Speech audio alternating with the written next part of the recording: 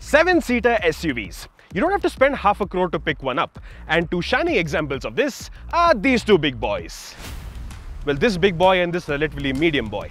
The Hyundai Alcazar and Tata Safari. But let's be honest, at this point there isn't much mystery left to either one of these cars. So today, you, yes you, are going to find out some things about these cars that at this point, even we have no clue about it. And we're going to do it by just having some fun. With the whole family. There's always room for family.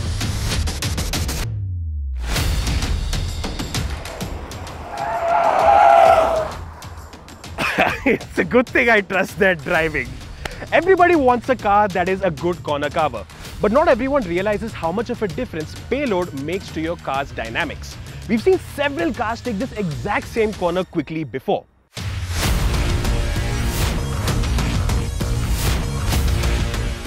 But how much of your inner Max Verstappen can you call upon when the whole pit crew's on board?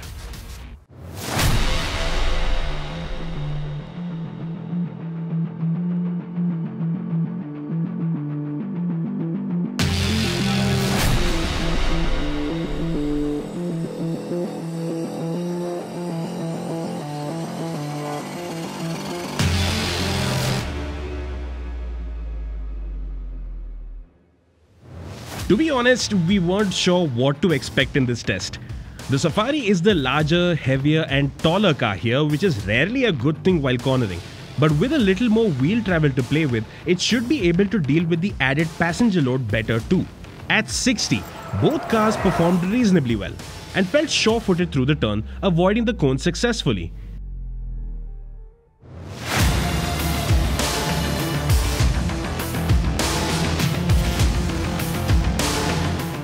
But jumping up just 5 km per hour to 65 changed things dramatically with both knocking out a corner piece. You can see how the Alcazar's right suspension is buried all the way down, while the Safari still has a little more play left. From the driver's seat, it was the Safari that felt more predictable through the corner. With all that lateral inertia, both cars found their rear ends losing grip.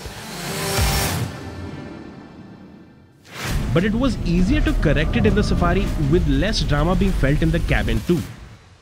No doubt, the Alcazar would have performed better if it came with wider tires.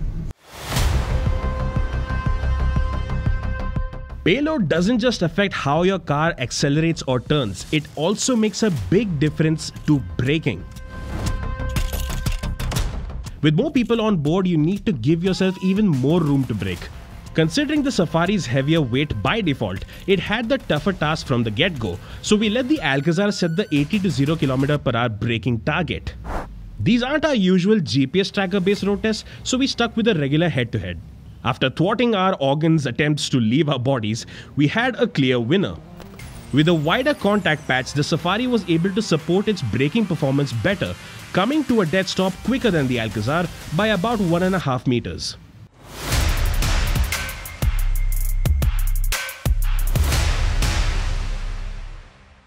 Now comes the big question. The question you've wanted answered most. The question that has challenged mankind through the ages. If you're in a rush to make the whole family reach a dinner reservation, which car would you want to get them in and out the quickest? Both cars on this test have got middle row captain seats, but there's a difference. The Alcazar gets tumble forward seats in the middle row, which the Safari doesn't, but you can walk through the middle row of the Safari, which you can't do in the Alcazar. So which one has the advantage?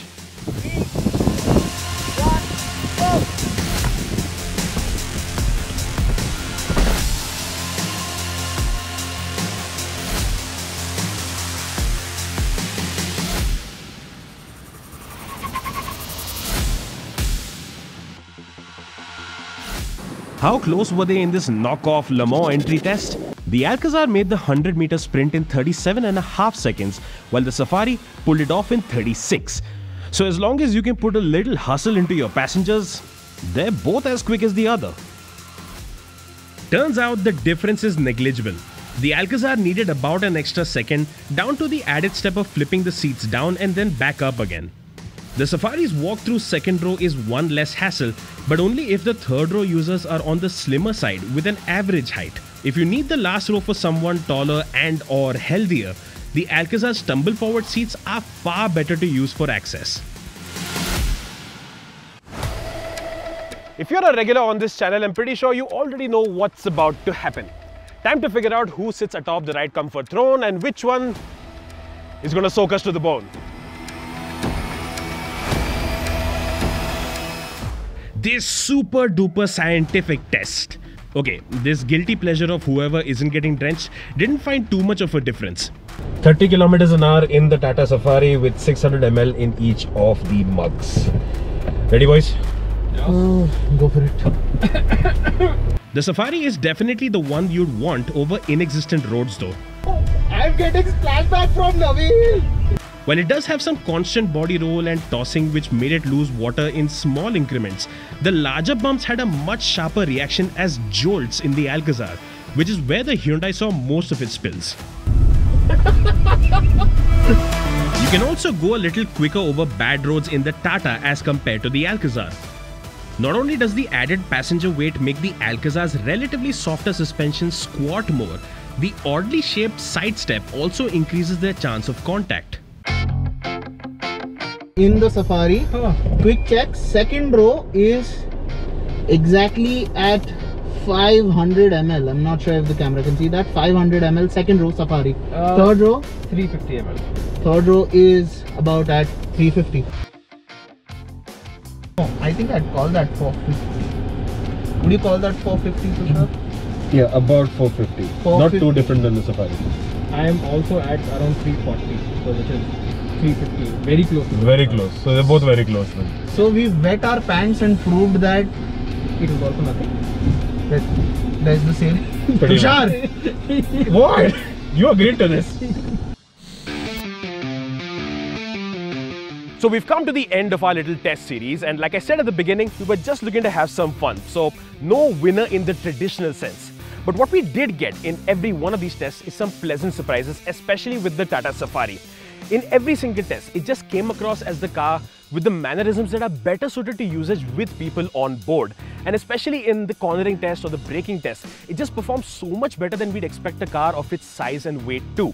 And from behind the wheel, the drive experience in both these cars is just worlds apart. And these differences, they just expand in the real world in terms of their personalities too, right? One is bigger and probably more emotionally appealing. The other one is smaller but probably more sensible for urban users. With one, you get better cabin space. With the other, a better features package. So yes, they are six or seven seater SUVs that are priced close together. But in the real world, they're as different as you could possibly imagine.